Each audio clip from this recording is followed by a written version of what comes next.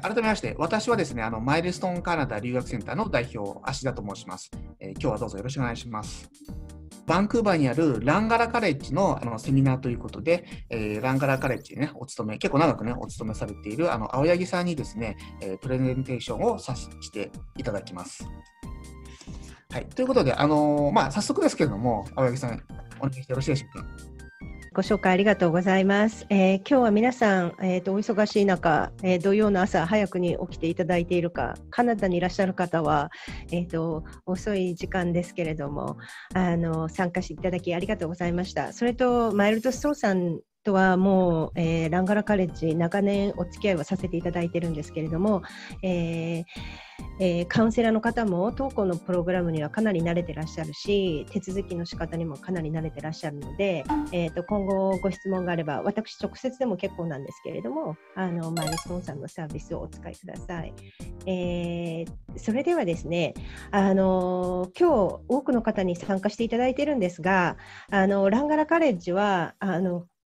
皆さん一番最初に浮かんでくるあの一言が大学編入。で大学編入でとても名前が通っているあのコミュニティカレッジなんですけれどもランガラカレッジ勤めて17年、えー、多くの学生さんがあの高校を卒業して当校の、えー、Academic English Program に入ってらっしゃってから大概日本の学生さんはあの Academic English が必要なんですけれどもその後大学編入プログラムにえー、移行してでその後あの University of British Columbia やサイモン・フレーザー大学などに進学されている方を多くあの応援してきました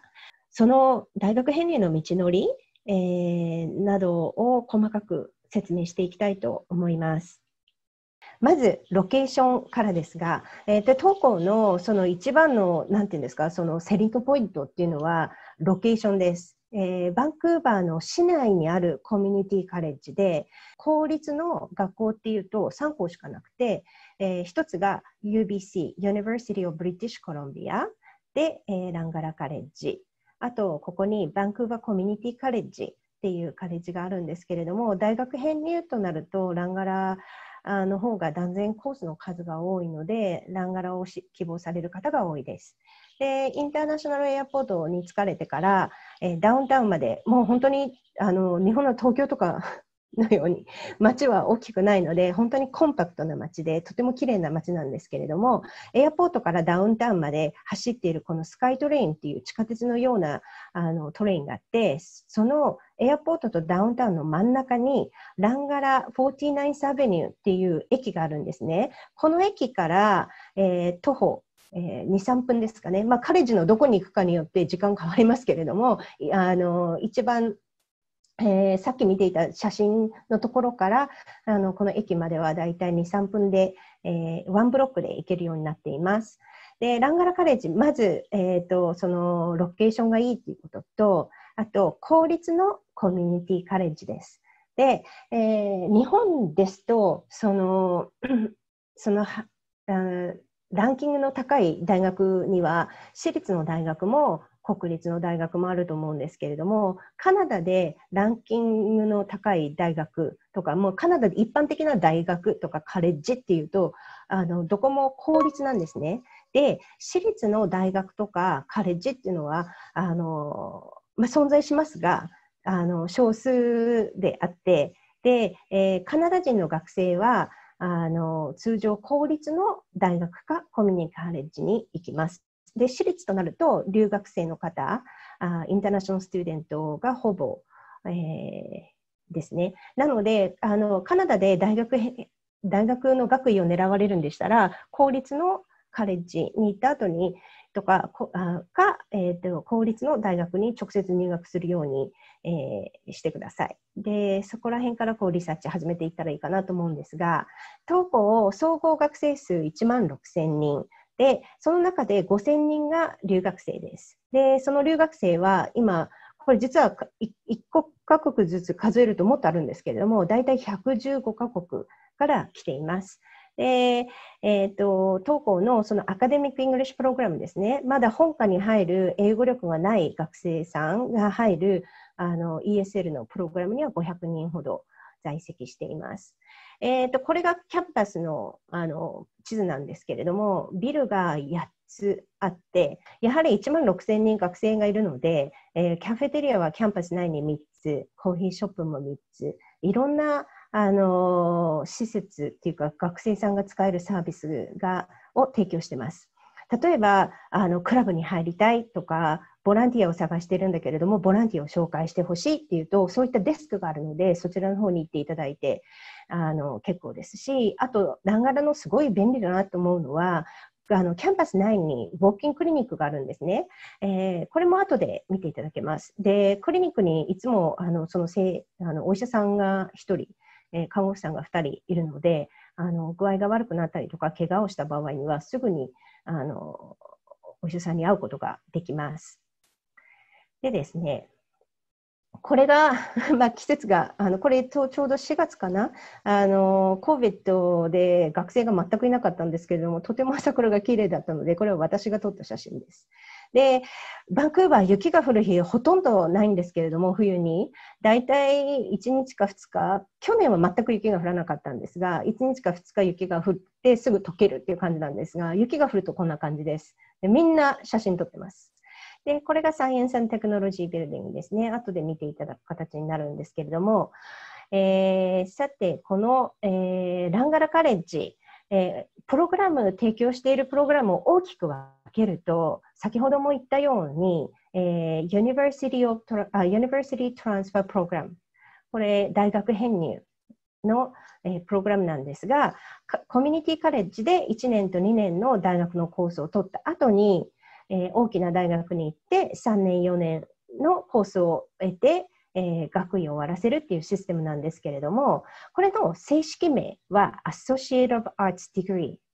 Associate of Science Degree って言います。なので、大学編入を希望される方は、あの申し込まれるプログラムはこの Associate of Arts が Associate of Science になります。で、えー、その他にですね、キャリアプログラム、これはあのランガラコミュニティカレッジですので、そのコミュニティが必要とする人材の育成をしないといけないので、あの皆さんが大学行かれるわけではないですから、1年のサティフィケート、2年のディプロマ、そうか、あままあ、あの BC 州のカレッジの面白いところは4年の bachelor degree も提供してるんですけど、えー、ランガラでもビジネスと environment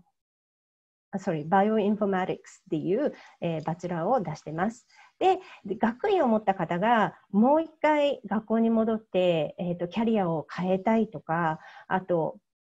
えー、専門的な知識をつけたい方用に、えー、ポストディグリーディプロマプログラムっていうのも提供してるんですね。大きく分けて、大学の理論を学ぶ University Transfer Program かキャリアプログラムのどちらかになります。ランガラカレッジは大学編入に力を入れているので、大体65%の学生さんが大学編入に在籍していて、え残りの学生さんがキャリアプログラムを提供、あを勉強しているっていう形ですかね。さて、この大学編入ですね、あの日本ではあんまり耳にしない言葉だと思うんですね。で、大学、日本、これ、例えばこれ、other country って書いてありますけれども、これを日本と例えると、高校を卒業した後に、もし大学のあの卒業資格が欲しい学生さんでしたら、皆さん大学に進学されると思います。で、カレッジっていうと、どちらかというとイメージ的には、あの日本でいうと短期大学、そうか、あと専門学校っていうあの感じになると思うんですけれども、これブリティッシュコロンビア州なんですが、高校を卒業した後に、大学に直接入学しても大丈夫です。で、例えば、あの、University of British Columbia は今、えーと、国で2番目、えー、BC 州では一番のランキングの大学、有名大学なんですけれども、University UBC にあの直接入学できるのであれば、直接入ってもいいんですけれども、まだ競争率がとても高いので、あの直接入学ができない学生さんや、あとあの大学編入でいろんなあのなんていうか利点があるので、その利点を利用して、えー、大学に編入されたい学生さんなんかはコミュニティカレッジに先に行って2年のコースを取ってから、えー、編入するっていう形になります。で、えーと、これはですね、えーと、ブリティッシュコロンビア州の、えー、教育省が40年か50年前に、この大学、えー、総合、日本でいう総合大学ですね、研究も行うような大学は、その時に4つしかなかったんです。えー、University of British Columbia、Simon Fraser University で、えー、ビクトリア大学、University of Victoria で、えー、ともう一つあの北の方に University of Northern British Columbia っていうのがあるんですけれども4つほどしか総合大学がなかったのでもっと大学を作ってもよかったんですけれどもその代わりにこの BC 州のいろんなところに、えーと、こうばらばらついてるこのコミュニティカレッジで1年と2年のコースを提供してその後にあの大きな学校大学に編入するっていう大学編入っていうあのシステムを州が作ったんですね。なので、例えば、これ今、カレッジ、ランガラと例えますと、ランガラの1年と2年のコースっていうのは、UBC とかサーモン・フレーザーとか UVIC の、えー、1年と2年のコースと全く同じですよっていうのを、州が、えー、その、なんて、アテキュレーションっていうんですけれども、その保証してます。で、この、例えばランガラでしたらね、900ぐらい University Transfer コースがあるんですけれども、その1コース1コース1つずつが UBC のこのコースと同じだとか、サーモン・フレーザーのこのコースと同じだってかっていうのが、あのまあ、ウェブサイトで表になって見れるようになってるんですね。ですので、アティキュレーションはこの州が行っているっていうことをあの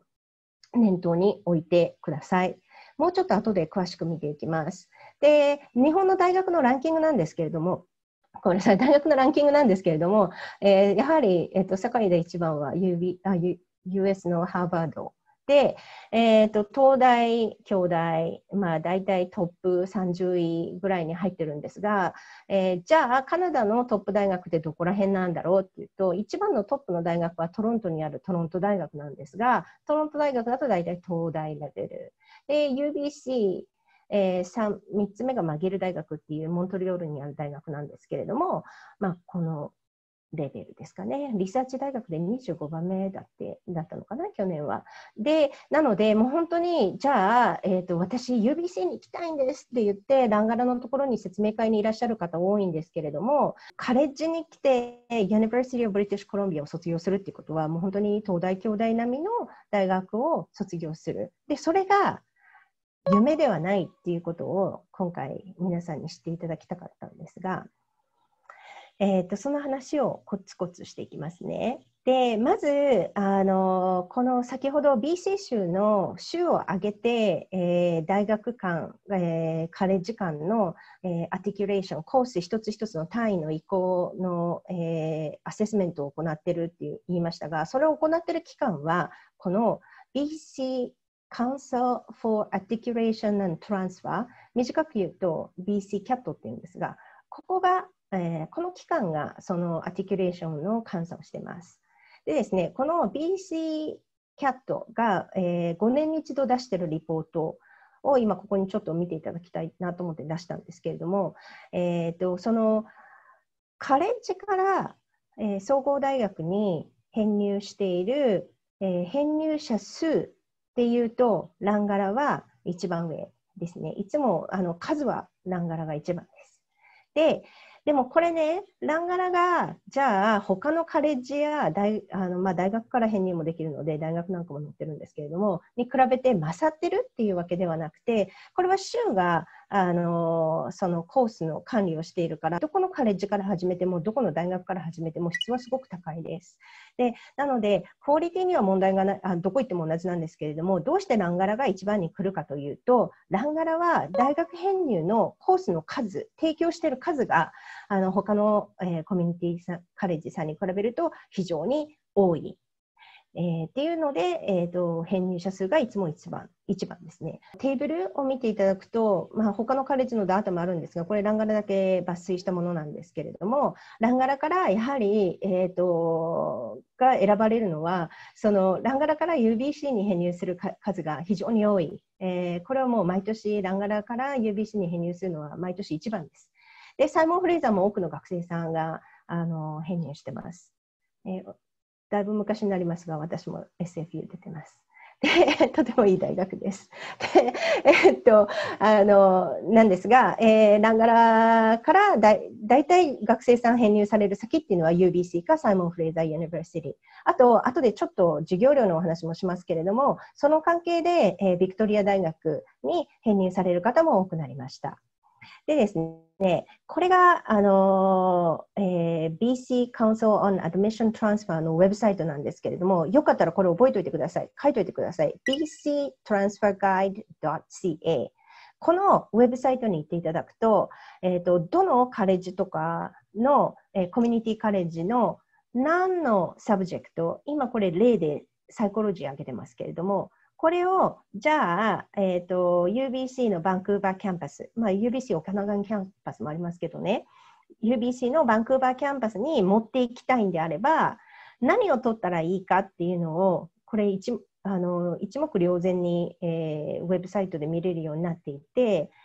でこれが、えー、ランガラのサイコロジーのコース番号。で、これが UBCV、これバンクーバーですね。UBC バンクーバーキャンパスのサイコロジーのコース番号。で、これ全く同じですよっていうのが、まあ、このウェブサイト、まあ、ランガラのウェブサイトではなくて、その government のウェブサイトに行けば見れるっていうのが、ので、ちょっとこう、あやっぱりその大学編入の同じコースをカレッジで取るだけなんだなっていうのを分かっていただけると思うんですけれども、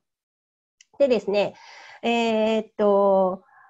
えー、私いつも UBC のビジネスに行きたいっていう学生さんがあ非常に多いので、えー、この UBC の、えー、ビジネスメジャーに行く場合には、えー、どんな道をたどっていけばいいのかっていうのをこここれランガラのウェブサイトなんですが、えー、見れるようになっていて、えー、これランガラのランランガラ .ca に行っていただいて Student Services っていう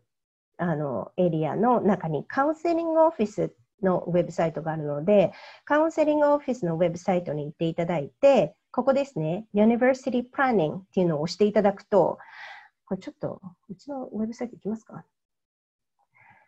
？University Planning だと、大体うちの学生さんって UBC か SFU に行くので、UBC と SFU だったら、何専攻するんだったら、ランガラで何を取ればいいかっていうのが一目瞭然に分かるようになってるんですけれども、じゃあ、UBC のビジネスってコマース学部っていうんですね。そのファクルティオブコマースに行って、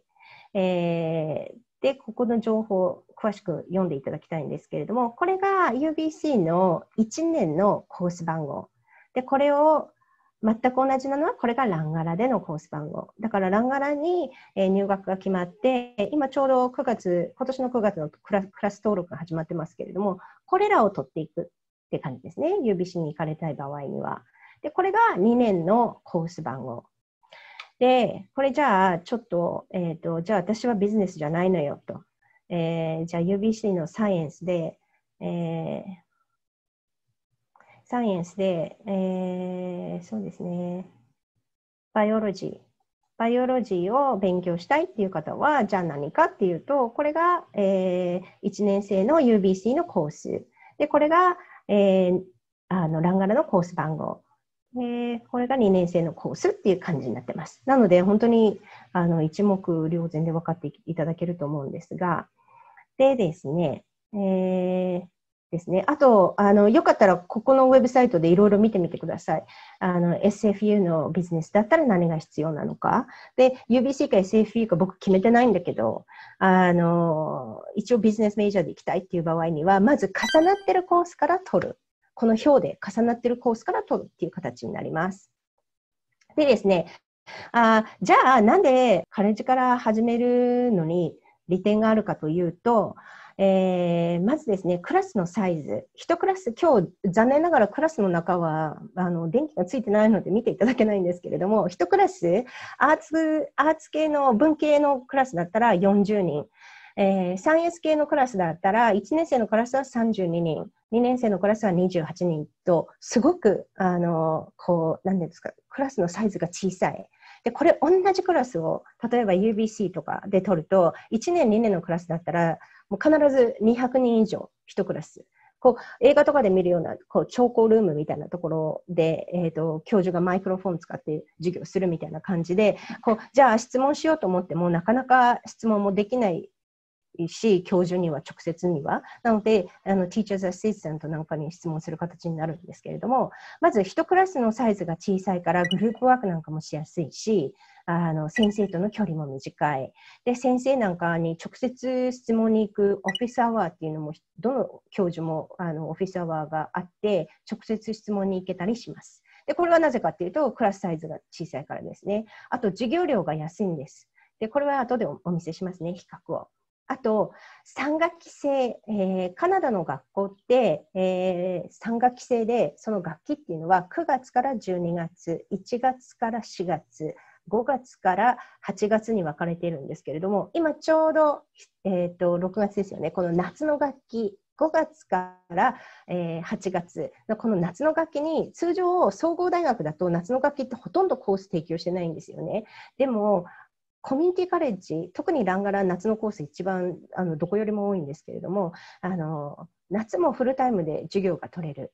で、ですので、大体、えーと、1年に10コース、10科目、えー、取るんですが、それを細かく分けることができる。1学期に3コース、2学期目も3コース、3学期目に4コースとか。で、えー、数の少ないコースを取るので、GPA も高くなる。宿題もや、えーと、グループワークに費やす時間も一教科に多く費やせるっていう形になっています。であとやっぱりあの先生はその研究よりも教えることが好きな先生がカレッジに集まってきますよね。で、えー、ですね。じゃあ、授業料、気になる授業料なんですけれども、例えば、これ、ビジネスプログラムの場合、えー、UBC とサイモン・フレイザーと University of Victoria とランガラカレッジを比べました。これは今年の9月30クレジット10コースですね。1, が1年の30